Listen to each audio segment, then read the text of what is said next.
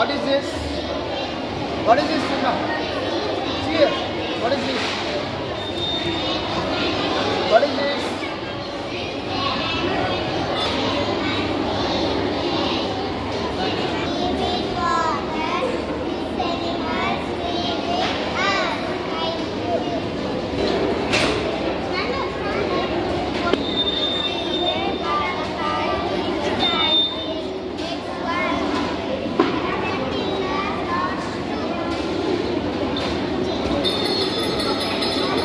मिले ना?